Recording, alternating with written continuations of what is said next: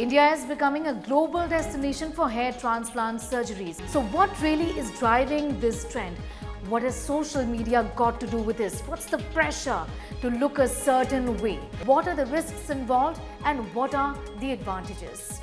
Health 360 this week is driving that conversation. Watch the show at these times only on India Today TV.